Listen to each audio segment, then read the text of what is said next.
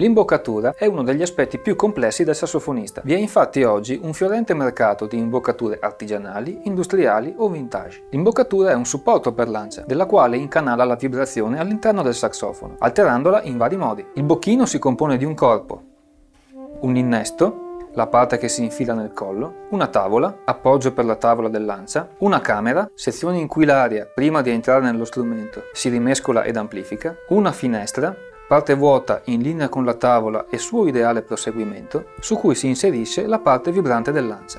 Un deflettore, parte anteriore del bocchino, da cui dipende la maggior parte del suono, una parte di collegamento fra deflettore e camera, i binari laterali della finestra ed il loro interno, ed il bordo della punta. Quello che è in corrispondenza della punta del lancia è rivolto all'interno della nostra bocca.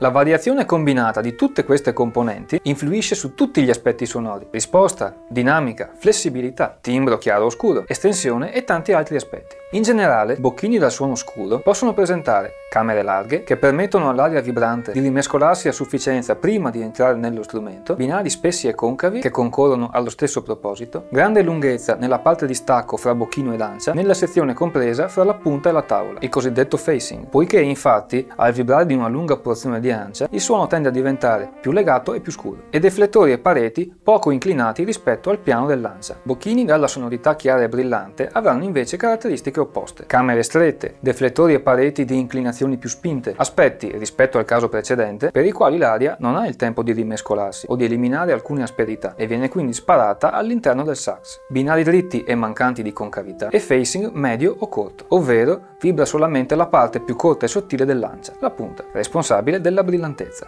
Il design interno, equilibrio delle precedenti caratteristiche, è ciò che maggiormente influisce sulla sonorità dell'imboccatura. Tuttavia, anche il materiale impiegato può giocare il proprio ruolo. Ebanite, suono caldo, rotondo e flessibile. Metallo, sonorità tendenzialmente più chiara e potente.